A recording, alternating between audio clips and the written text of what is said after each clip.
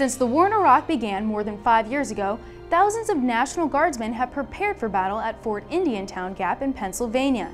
It's the only live fire maneuver training site in the Keystone State.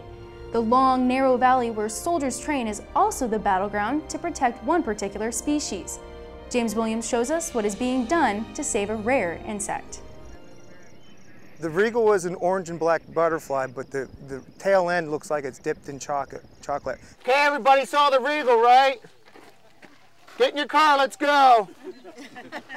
we'll find some more. My name's Cliff Tooker. I'm from Harrisburg, Pennsylvania. I'm a retired nature photographer. A lot of the regal uh, butterflies. We saw a lot of other butterflies too.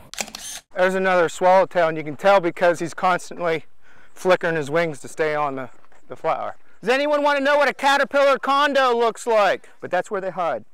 And they, they hide underneath there, and then they go looking for violets. Okay, I'm out of violets. Oh, here's one. Violet, you notice where they are? They're in the patches of bare soil.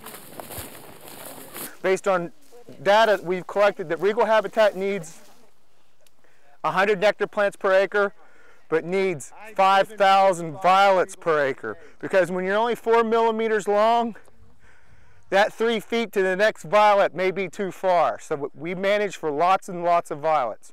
What are the little black things? Oh, that's caterpillar poo. we have a regal in a net right now. Mark's gonna pull it out, let everybody get a close look. Now, if she cooperates, which is usually the issue. So this is a female.